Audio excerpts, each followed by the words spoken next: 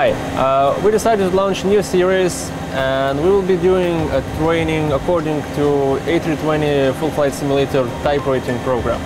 Uh, we'll be starting from the basics and uh, go through all the steps that pilots learn and all the procedures and all the failures uh, that the pilots learn to get their type rating. Uh, this is not for training purposes, just for you people to watch and, and for fun to see how it should be done and how it could be done in uh, when you're learning for the type rating or playing at home. Uh, the first lesson will be just the start, uh, pre-flight procedures, cockpit preparation, uh, taxi, before takeoff procedures. Uh, after that, we'll uh, get into more detail and some failures on engine start and so on, takeoff, climb, step by step, and then it will get uh, gradually more and more difficult. We'll have 12 lessons in all. This is the same amount that all the pilots have when they're studying their type rating. Uh, so we start with the first lesson. Keep watching. Uh, so the first thing the co-pilot or pilot non-flying for the flight does in the cockpit uh, is uh, test various levers so nothing would move when the power will be on. So the first thing is first uh, engine master switches. Check off. All right. Uh, mode selector, Mode selector normal. normal. Uh, landing gear lever, Landing gear lever down. down, and then wipers Wipers off. off and off on this side as well. Good. And then we check the electrical part. Electrical part is the battery system over here. Uh, we check the voltage. It should be more than 25.5 volts so on each battery. Battery 1 28.1. Battery 2 28.3. All right, so that's more than enough. If it would be lower than 25.5, uh, then we would have to charge the batteries, which takes around 20 minutes. Uh, so the voltage is good. We can turn on the batteries. Battery 1 auto. Battery 2 auto. Okay, and the cockpit comes to life uh, on emergency power essentially. So the only light available is the dome light, which is always on, even if there is no electrical power. Um, after that, we can connect the external power. We have the light available. We check again. Available. External And- power on. Yeah, on.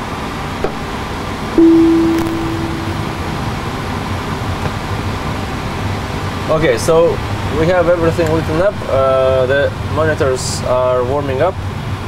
Uh, we can turn on the displays,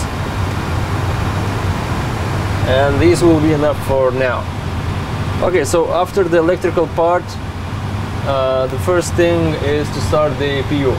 Uh, before starting the APU, uh, we check the fire warning.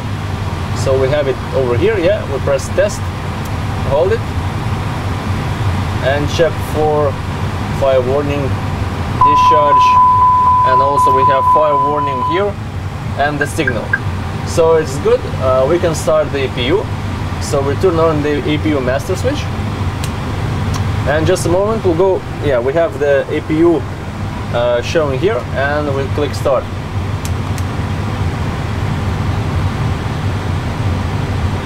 We can see on the monitor we have flap open and then the APU is starting.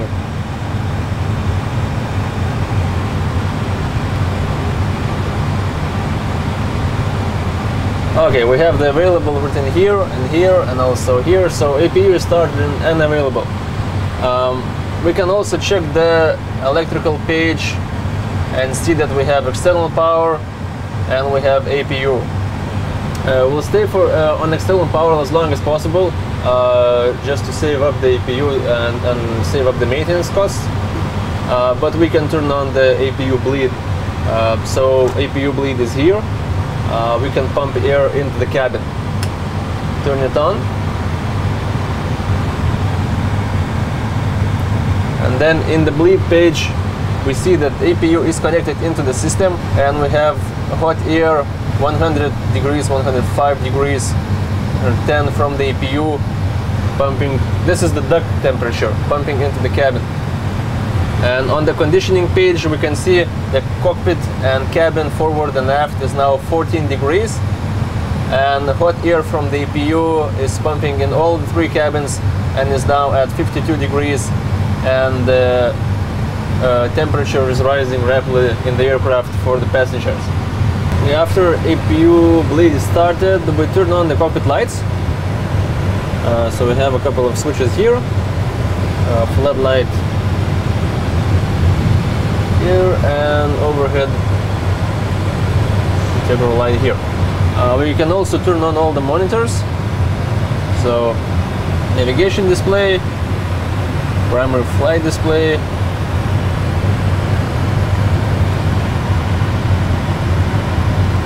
Yep, everything is on. Uh, then we check the flaps. Uh, we check that the flap level would correspond to what is showing on the ECAM. So we have zero and zero is shown on the ECAM. We don't do anything if it's if it would be shown one and there one we wouldn't set it to zero uh, without advising the ground crew. Uh, we make sure that nothing in the on the plane, no, none of the plane surfaces move in any way uh, just check. So flaps is zero and zero. Yes. Uh, then the parking brake. Uh, we check that the parking brake should be on. On. Yeah. Parking brake is on. We check the, the pressure and if the brakes are on. Uh, in this case, we see that is zero, and accumulation pressure is zero, zero, and brakes are zero. Brakes are not on. Uh, that means that the brakes discharged overnight and we need to charge it. And we do that with the electrical hydraulic pump, hydraulic view, and we turn on the electrical hydraulic pump on the overhead.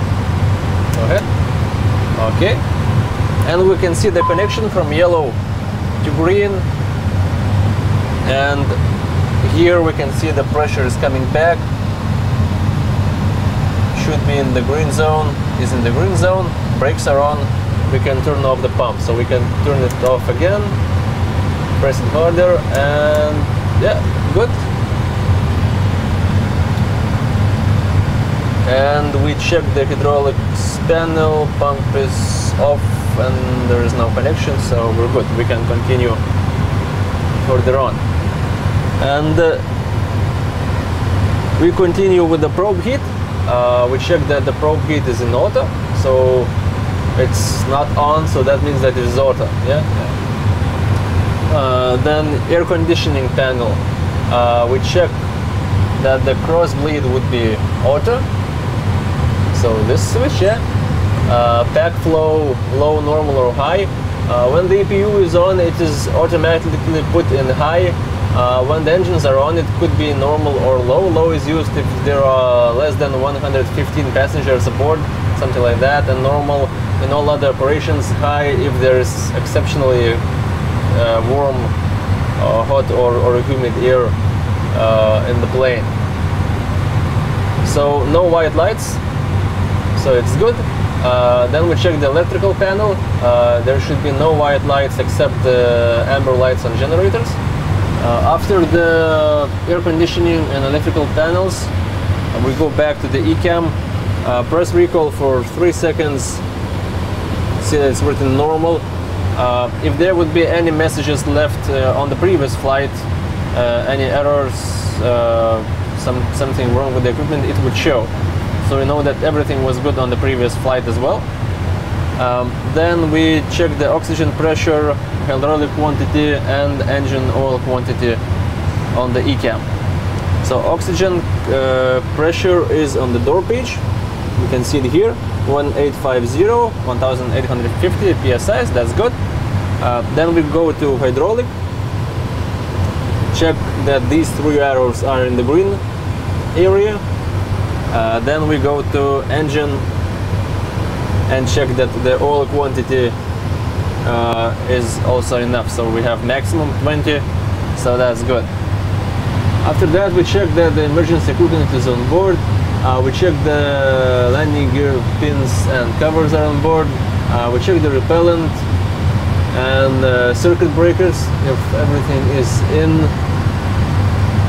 And looks okay and after that, there's the external walk around. Uh, so we'll skip that and go directly to pilot flying uh, procedures for cockpit preparation.